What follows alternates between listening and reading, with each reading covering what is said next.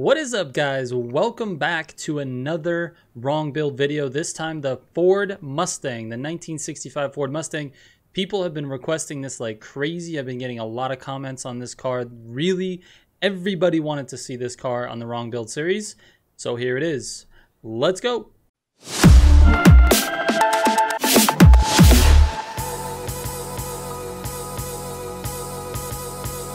Alright guys, you know I like to get right into the video and I give you the most important piece of information right here at the front because I know not everybody has time to watch a 20 minute video.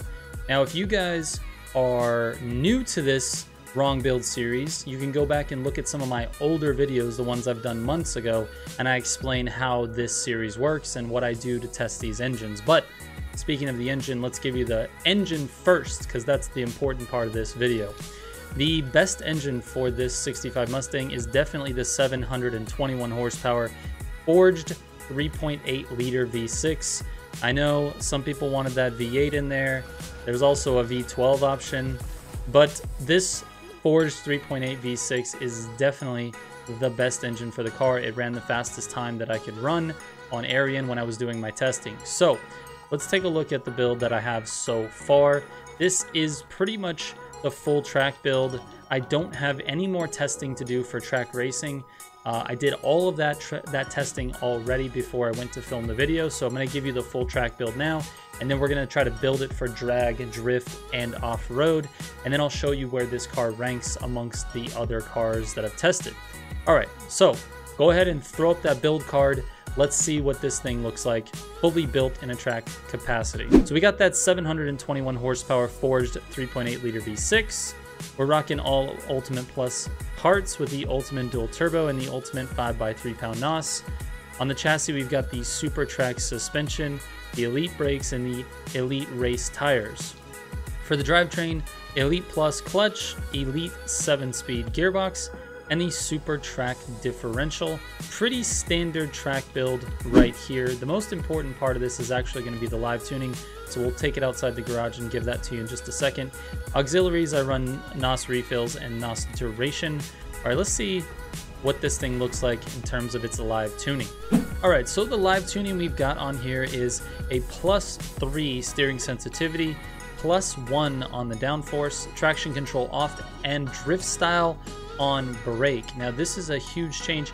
I usually prefer the drift style to be gas, but in this particular case, if you put it to brake, it actually allows you to increase the downforce just a little bit, which gives you traction out of the turns. Now, this is a very minor adjustment, and if you prefer, you can actually drop the downforce. It'll give you a little bit more top speed, and you can run the drift style on gas. This is how I prefer to run this car. This is how the car feels the best to me. But these settings are really just for your personal preference. Now, obviously, drift style doesn't always need to be brake. You guys can play with that however you would like and in whatever feels better for you. All right, before we move on to the drag build, let's just for a quick moment, let's take a look at this amazing wrap by Surfy. This thing is insanely clean. I just want to congratulate Surfy as well for having 18,000 downloads for this particular wrap. Let's go back into the garage. I'm going to show you how you can get this wrap if you're on Xbox. All right, from the garage, what you want to do is go to customization, paint and wrap, then go over to community, and then you can look at the trending, the most recent, the most popular, the most, uh, or your followed, excuse me, your followed artist. If you followed OMG Surfy, look in the top left of the screen right now, made by OMG Surfy. That's who you want to follow if you want to get these wraps. And uh, this will definitely be in the most popular section. These wraps have the most downloads. This one has 18,000, so you're going to want to scoot all the way over till you see 18,000 on the downloads. OMG Surfy, it's right there in the most popular. He's the number 16 most popular wrap on this. That's how you get it if you're on Xbox. All right, let's turn this thing into a drag car. First, we're gonna need to change this NOS like always. You gotta have that one by 15 pound tank. The chassis we're gonna leave alone except for the tires. Let's take a look at our stats and then swap the tires over to a drag tire. Let's make sure this is giving us a better performance 0 to 60 wise because if not, then we don't want to sw switch to the drag tires. So it is. So we're going to go ahead and swap to the drag tires. Now we will be testing the gearbox just by looking at the quarter mile after we leave the garage and the differential is going to be track. Everything else is the same. So the potential three parts you want to change for drag build are the NOS, the tires, and maybe the gearbox. It just depends on what it looks like on the quarter mile. So let's take it out the garage and uh, let's see what the quarter mile looks like. All right, with this drag setup, we're looking at an 8.83 quarter mile. It's actually kind of on the slow side actually. So what we'll do is drop our downforce down, should give us an extra 300th of a second, and it does 8.80. Steering sensitivity is not really that important for this one, but we'll leave it there. And then let's go ahead and swap to the four-speed gearbox. We're gonna go up in numerical order, four, five, six, seven, and see which one is gonna be the best. So with the four-speed in here, it's actually 953. That is horrible. It's just horrible. All right, let's let's switch to the five here. Let's see, five speed, and we've got 893, still worse than the seven. Performance, let's go back to the six speed. All right, here we go, six speed. Six speed actually gives you a better quarter mile. This is pretty interesting because the 6-speed really didn't perform better for me when I was racing it on the track. I tested all the gearboxes when I was going through the engines and the 6-speed was close but not as good as the 7 for racing, but it's better for drag racing. Now most common like really professional drag cars have the fewest number of gears to maximize the horsepower and torque and in this case this makes sense. Now with that logic, you would think that maybe the 4-speed would be better, but for some reason it's not. This is the best gearbox for drag racing. I would go with a 6-speed over the 7 for drag racing. Everything else can stay the same. Let's go ahead and throw up the build card. This is the drag build. Here we go. All right, so that same Forge 3.8 V6 with the Ultimate Plus parts and Ultimate Dual Turbo. On the chassis, we're going with the track suspension, uh, super track suspension, I should say. And uh, oh, I forgot the 1 by 15 pound NOS. Don't forget that. Elite brakes, elite drag tires, elite plus clutch, super plus six speed gearbox, and the super track differential. The auxiliaries are your choice, but I go with refills and NOS duration. NOS duration is really going to help you out on the quarter mile, so I would definitely recommend that. And then again, on your pro, uh, excuse me, live tuning, you're going to go with minimum downforce. Everything else is irrelevant, but definitely minimum downforce for drag racing. All right, that is it. Let's go back and make this thing drift around. All right, so since this is a traditional rear wheel drive car, we're gonna set this up with the rear wheel drive drift setup and see how it does. And if we have to make adjustments, we will. But for the suspension on a rear wheel drive drift, you're gonna look at speed cross suspension. I'm gonna go with super speed cross. We're gonna leave the drag tires on and then we're gonna swap the differential to a pro drift differential. Now, I'm gonna swap the gearbox back because I always forget to swap the gearbox. So I'm going to put it back to a 7 speed. It's not going to really affect our drifting here because we're using an automatic transmission. So we're going to leave it there on the 7 because I don't want to forget to put it back when we go to build the off-road car.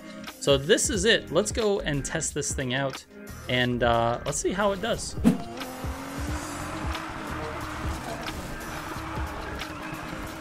Oh my god, dude. This thing slides forever.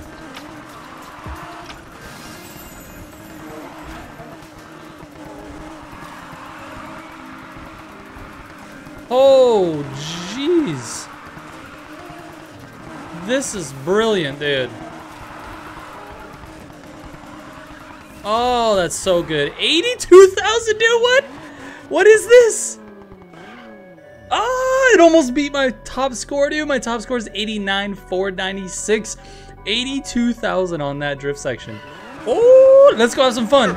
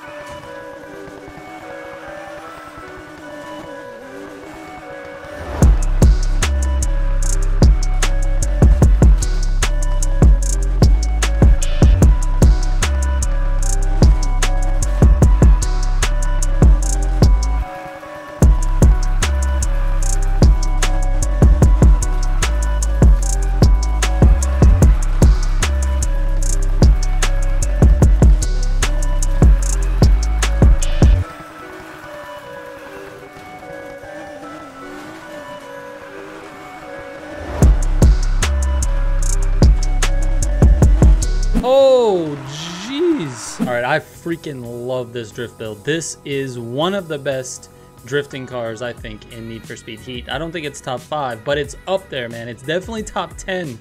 This thing scores high, it drifts well, you got a lot of control with it. This thing is great. It's absolutely great. Let's show you the build card. All right, that same forged 3.8 liter V6 with the Ultimate Plus engine parts, Ultimate Dual Turbo, and the Ultimate 5x3 pound NOS. The interesting part about this, or the most important part, is the suspension. Super Speed Cross suspension, Elite brakes, and Elite drag tires. Elite Plus clutch, Elite gearbox, and Pro drift differential.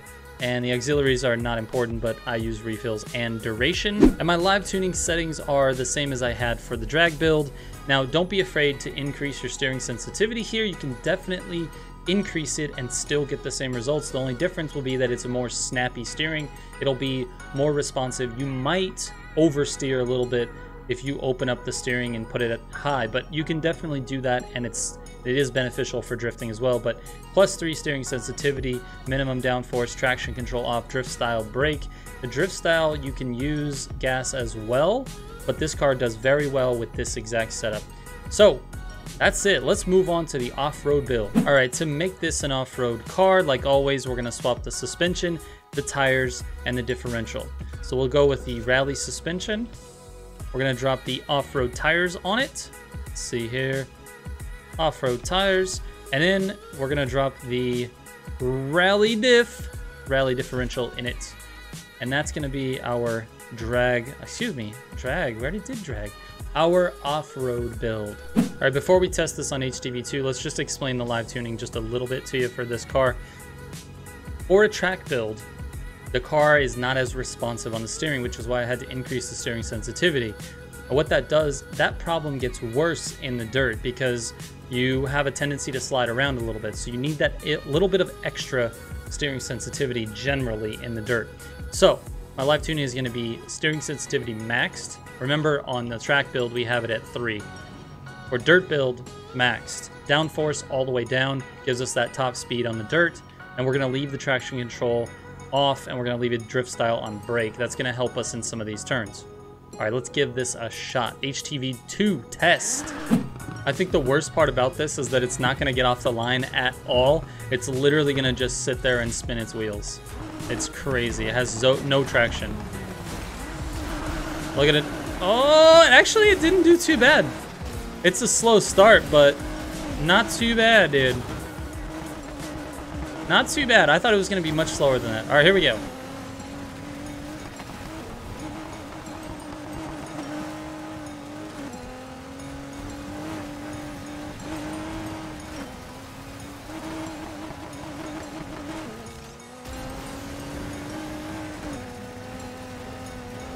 Oh, it's definitely got off-road speed.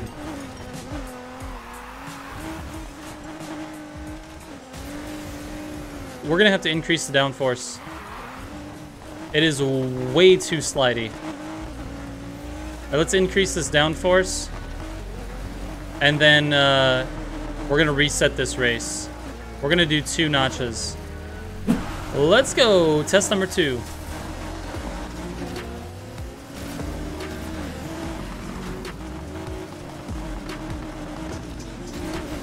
Much better start, actually.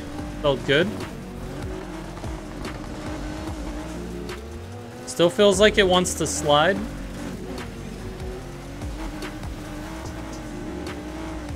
Which is okay. Just doesn't want to gain traction. I feel a little bit timid to, to steer it. Because it wants to slide so much. See how it gets a little wild there in the back?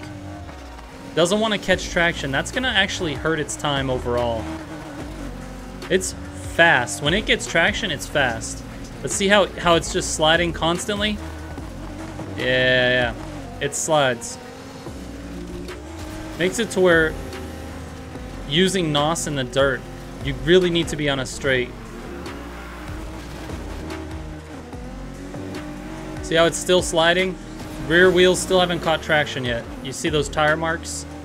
Yeah, it's it is insanely slidey.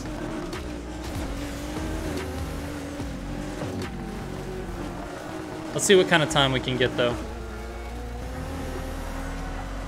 Wow, that was pretty good.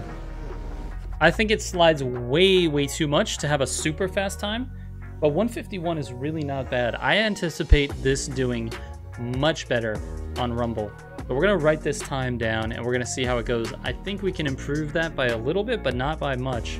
Um, but we're going to write this one down for now, 151.9, and then we're going to move on to Rumble, and uh, we'll see how it does with its combined score. I think I think this car is decent off-road. It feels good. It's really fast in a straight line. It just doesn't have traction. So we're gonna we're gonna run this, and then what I'll do after I see the combined times, I think what I'll do is increase that downforce.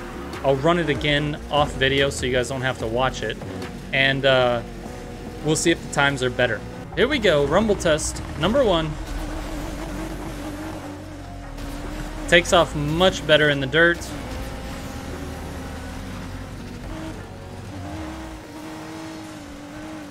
God, this thing is fun to drive, though. Definitely fun to drive in the dirt.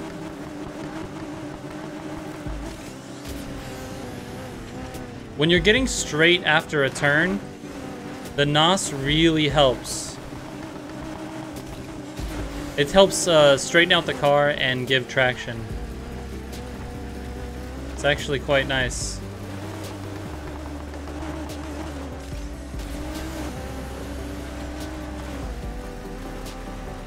This car is definitely way more suited for Rumble, 100%.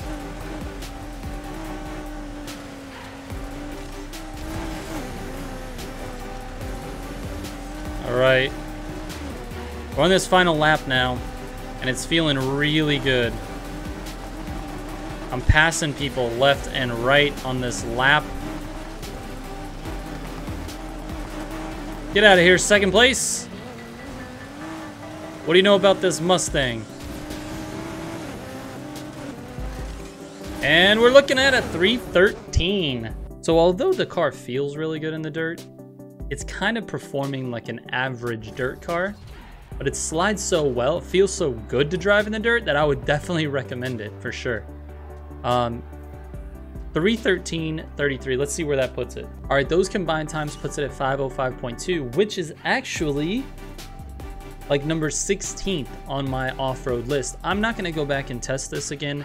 I actually prefer this setting. So it didn't do bad on HTV2, but it felt really good on Rumble. So there's gonna be this balance that you have to play. And I think most of the dirt tracks are more like Rumble. HTV2 is a little bit more tight, not as wide open. And it performed really, really well on Rumble. So I'm leaving it just like this. Let's go ahead and give you a build card so you know exactly how to build this thing. All right, same forged 3.8 liter V8 engine, excuse me, V6 engine, Ultimate Plus engine parts with the Ultimate Dual Turbo and the Ultimate 5x3 pound NOS. We got the Super Rally suspension, Elite brakes, Elite off-road tires, Elite Plus clutch, Elite 7-speed gearbox, and the Super Rally differential with NOS refills and NOS duration. As far as the live tuning goes, we've got maximum steering sensitivity, downforce minus 3. So plus 5 steering sensitivity, minus 3 on the downforce, traction control off, drift style on brake. And that is it. Let's go ahead and just summarize this and show you the ranks for each of the different genres of racing we've got going on here. All right, so I didn't talk about this earlier in the video, but during my testing, when I was running my times for Arian, this thing really blows. I mean, it's terrible. It is not, it's not a good racing racing car. I, I, wouldn't recommend racing this against anyone at any time. It doesn't matter what your build or their build is, just don't race it. It runs a 305 on Arian, which is near the bottom of the list. And on Sonic, I ran a 246. So it's really just not fast on track racing. I just really wouldn't recommend it. Stay away from it. And the same thing as far as drag racing goes. It's really just not a good drag car. Now, that is totally antithetical to everything we know about Mustangs in real life. They actually, American Muscle is great drag cars, but not this one. Just don't use it in drag. Off-road is actually pretty decent. It's about the same as that BMW i8 that we just tested earlier in the week. This thing is actually pretty good. It's in the middle of the pack, kind of towards the top, but you know, 15th, 16th place. It's actually pretty good. Um, I would definitely recommend it for off-road. It's definitely not the fastest, but it's something that you can use for sure. And now for the kicker, for the place that this thing really, really excels at. And it was kind of unexpected, but kind of expected. We had a couple of people that tell me that this was a great drift car, and I just was like, eh, I'll check it out whenever I get to it. This is an amazing drift car. This is definitely top 10, very close to uh, the top five drift cars in the game. This thing is really, really good, and the setup that I gave you is for an automatic transmission. Make sure you use it. If you're using a manual transmission, you can switch to speed cross everything on those three parts that I mentioned. Switch to speed cross uh, suspension, diff, and speed cross tires. And if you're using a manual transmission, that might be a little bit better. But keep in mind, it's to be really, really slidey. You have to be on your game when it comes to your throttle control. But if you're running in, in an automatic, this is definitely a great drift car. It was very, sort of a surprise to me. People told me I didn't want to listen. And uh, this is a great drift car. I'm super, super happy with this car in terms of a drift. That is the only way I'm going to use this car going forward. All right, guys, if you have any questions about this one, hit me up on Instagram or Twitter or Discord. You can join the Discord. There's a link in the description down below, as well as my Instagram and Twitter links. Um, I look at every DM, and I'm not super on top of the comments anymore. We've just gotten a lot of comments, and uh, I'm more on top of DM. So if you have any questions, send it in a DM. If you have good comments and, eh, or, or things that you want to see on the channel, you can leave it in the comment section. I read it, but I don't necessarily respond to every single one, not at this time. And uh, yeah, we'll catch you on the next wrong build video. Uh, that's it. Thank you so much for watching. I appreciate you watching another one of my videos. You could be watching anything else on YouTube and you are here watching my channel. So thank you so much. Shout out to all the militia subs. Trigger out.